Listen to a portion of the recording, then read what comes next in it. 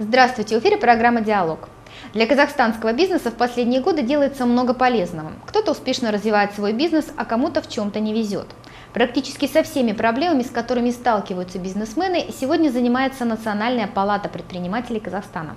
Для эффективного решения задач по вопросам защиты прав бизнесменов при Палате предпринимателей Североказахстанской области успешно работает Совет по защите прав предпринимателей, о работе которого мы поговорим с его председателем Инессой Зайнуловной Куановой. Здравствуйте, Инесса Зайнуловна. Здравствуйте. Вы являетесь председателем Совета по защите прав предпринимателей Палаты предпринимателей Северо-Казахстанской области. Расскажите, а, пожалуйста, что это за площадка и с какой целью создан а, данный совет? А, для того, чтобы понять, какую диалоговую площадку представляет Совет по защите прав предпринимателей, нужно немножко вернуться в историю и вспомнить о том, что в 2013 году, в июле, был принят закон о Национальной палате предпринимателей Республики Казахстан. Это общественное объединение, которое занимается защитой прав и интересов бизнес-сообщества. Эта организация в регионах имеет свои региональные структуры, и, а также при Национальной палате предпринимателей и при региональных а, палатах предпринимателей действуют консультативно-совещательные органы, советы по защите прав предпринимателей. Совет по защите прав предпринимателей – это э, общественная, общественная структура, это такая организованная а, диалоговая площадка, на которой могут встретиться представители бизнес-сообщества, государственных органов и других заинтересованных лиц для решения тех или иных вопросов. Республиканский совет по защите прав предпринимателей возглавляет депутат парламента Гани Касымов, а в региональных, во всех регионах, региональных а, палатах такие советы действуют на местах. Наш э, совет был создан в январе 2014 года, но пока шло формирование а, организационные разрешались вопросы. Фактически совет наш начал работу в июле 2014 года, и вот с этого времени совет занимается самой главной своей задачей – это защитой прав предпринимателей. А кто входит в данный совет? А в данный совет могут входить представители государственных органов и общественности. А это должны быть люди известные, авторитетные, а, к мнению которых будет прислушиваться бизнес-сообщество. В нашем э, региональном совете входят прокурор области Зайтлер э, Степан Степанович, заместитель руководителя департамента агентства Республики Казахстан по госслужбе и противодействию коррупции Мукашев Адельбек Каирбекович, а, адвокат, член президиума Сахаров Юрий Георгиевич, медиатор Пехотина Галина Анатольевна а, и заместитель Палаты предпринимателей а, Казиев Жинсабаевич. Каковы основные цели и задачи Совета? Поскольку Совет называется Совет по защите прав предпринимателей, то, конечно, главная задача этого Совета – защищать интересы и права бизнесменов-предпринимателей. Каким это образом можно сделать? Во-первых, э, Совет занимается разработкой каких-то предложений по совершенствованию законодательства, поскольку наше законодательство очень часто содержит коллизии, противоречия, недоработки, которые явно препятствуют развитию бизнеса в Казахстане.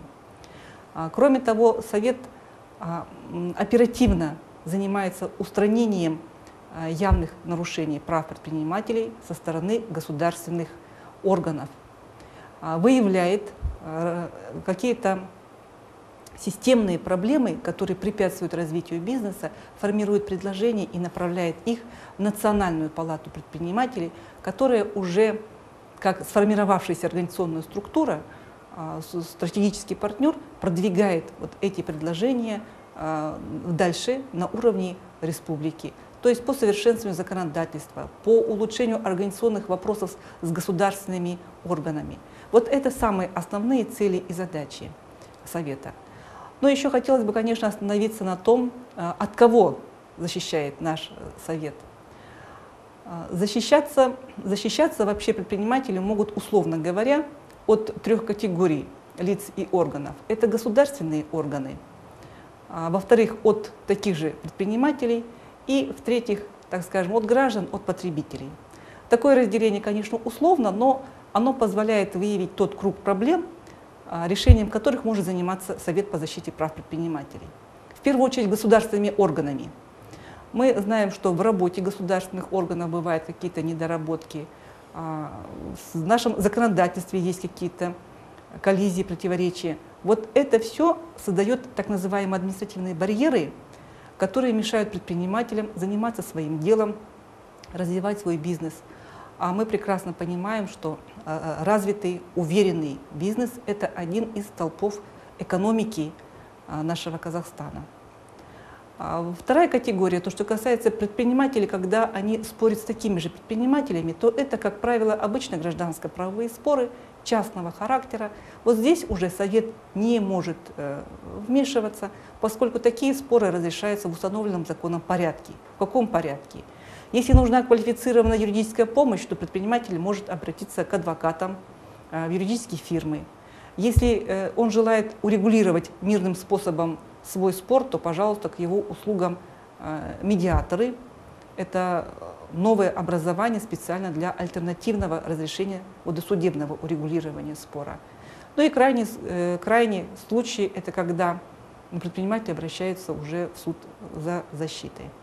Ну и третья категория, если условно так можем сказать, от кого нужно защищать наших предпринимателей, это от э, граждан и потребителей.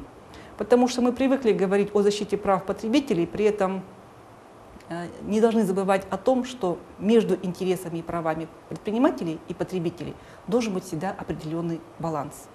А, иногда бывает агрессивен э, бизнес, тогда нужно защищать наших потребителей, а если себя некорректно и агрессивно ведут потребители, бывают такие случаи, то тут уже в защите нуждаются наши предприниматели. А какие вопросы чаще всего рассматриваются советом? А, вопросов очень много. А, можно сказать, что вот буквально за прошлый год в, по правовой блок Палаты предпринимателей поступило около тысячи обращений от предпринимателей, в том числе около 300 обращений касались вопросов защиты предпринимателей по тем или иным вопросам. Чаще всего это проблемы, которые касаются э, исполнения соблюдения таможенного законодательства, тарифа образования, э, земельных отношений, экологии и так далее. Больше всего вопросов у нас возникает в сфере земельных отношений. Это, наверное, понятно, потому что для того, чтобы заниматься бизнесом, развивать его, нужна база, это как правило, земельные участки. Как только предприниматели обращаются за предоставлением земельных участков, они сталкиваются с наличием административных барьеров. Некоторые из них изначально заложены в законе. Например, в земельном кодексе есть правило о том, что нельзя предоставить земельный участок без правил детальной планировки, ПДП. А когда мы начинаем искать это ПДП, то выясняется, что в части населенных пунктов – ПДП не разработаны, их нет, а не предусмотрены бюджетные э, средства на разработку этих ПДП. И получается, что правило э, земельного кодекса о том, что каждый имеет право получить земельный участок, оно э, сталкивается вот с этой неразрешимой проблемой а, о невозможности предоставить земельный участок при отсутствии ПДП. Как быть в таком случае? Вот этот вопрос, он носит системный характер, он э, характерен не только для нашего региона, а для всей Республики Казахстан. Поэтому на выявление таких системных вопросов, на их разрешение, возможный какой-то вот выход из такой ситуации и обращает внимание э, э, Палата предпринимателей, в том числе Совет по защите прав предпринимателей. Ну, в качестве примера еще можно сказать, что поскольку были выявлены какие-то системные проблемы в сфере администрирования, то э, Совет по защите прав предпринимателей рекомендовал прокуратуре и палате предпринимателей провести проверки на наличие вот административных барьеров как в деятельности государственных органов, так и в законодательстве. А сколько советов уже проведено и сколько положительно решено вопросов? А, нужно отметить, что Совет, поскольку реально приступил к работе только начиная с июля 2014 года, то заседаний было проведено за это время 6. Было на них рассмотрено 18 вопросов, из них решено положительно 12. На первый взгляд это небольшие цифры, но за каждой цифрой стоит успешно разрешенное какое-то дело, а, успешно защищенный интерес или право конкретного предпринимателя. Например, регистрирующий орган отказал а, акционерному обществу в регистрации изменений, которые акционерное общество хотело внести в учредительные документы. Мотивировал э, этот отказ регистрирующий орган тем, что был пропущен месячный срок. А после обращения в Палату предпринимателей этот вопрос был тщательно изучен и установлено, что а, месячный срок не установлен в качестве условия для регистрации таких изменений, и его пропуск никаким образом не может влиять на а, права и интересы акционерного общества. Только после того, как на заседании Совета представитель регистрирующего органа встретился с представителем акционерного общества, этот вопрос был положительно разрешен, и в настоящее время проблема эта устранена. Хотелось бы услышать конкретные примеры. Расскажите, пожалуйста. А, конкретных примеры имеются. Например, одно ТО в течение почти трех лет не могло а, получить а, долг около 7 миллионов с государственного коммунального предприятия на праве хозяйственного ведения, поскольку это предприятие находилось в стадии ликвидации – казенное предприятие создается, учредителем его является Акимат, поэтому Совет на заседании пригласил представителей Акимата, ответственных лиц с ликвидационной комиссией и э, предпринимателей.